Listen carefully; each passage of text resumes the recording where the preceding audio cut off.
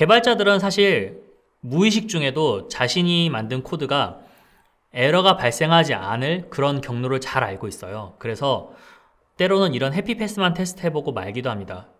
이렇게 되면 나중에 edge case에서 여러 문제가 발생할 수도 있는 거죠. 때로는 소위 말해서 no look refactoring을 하기도 하는데 어, 그러니까 refactoring을 해놓고는 실제로 잘 동작하는지 안 하는지 테스트도 안 해보는 거죠. 너무 간단한 거다 이거예요.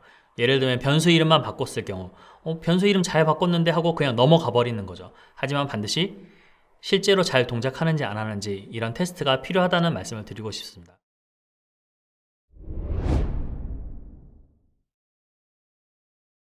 제가 예전에 동료와 리팩터링에 관해서 말하면서 서로 격하게 동의했던 부분이 바로 그거였어요. 테스트가 없는 리팩터링은 끔찍하다.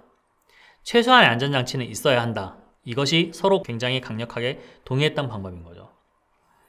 그러면 어, 리팩터링의 방법을 몇 가지 말씀드리려고 합니다. 리팩터링의 방법은 첫 번째로 함수를 추출하거나 혹은 옮기는 방법이 있습니다. 어, 로직을 별도의 함수나 모듈로 분리하는 거죠. 예로 들어보겠습니다. 코드를 자 다음과 같은 코드가 있어요. function에 process post라는 코드가 있다고 해봅시다. 이 코드에 다음과 같이 실제로 동작하는 코드는 아니고요. 단순히 refactoring의 어, 원칙을 알려드리기 위해서 제가 임의로 작성해보는 코드예요. 그래서 post를 보내고 이 코드는 JavaScript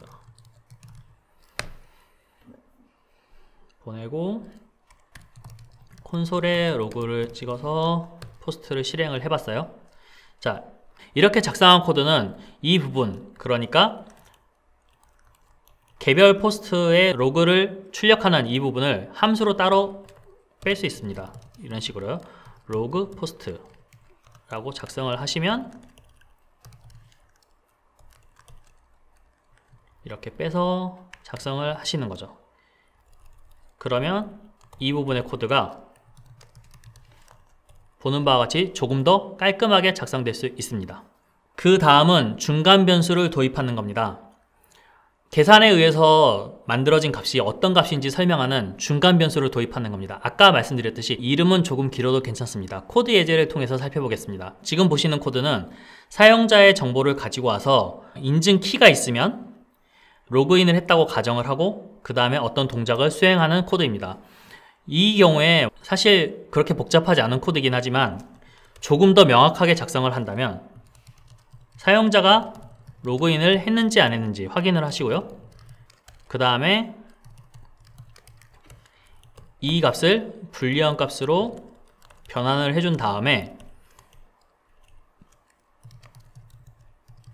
다음과 같이 중간 변수를 도입해서 조금 더 명확한 코드를 만드는 방법이 있습니다.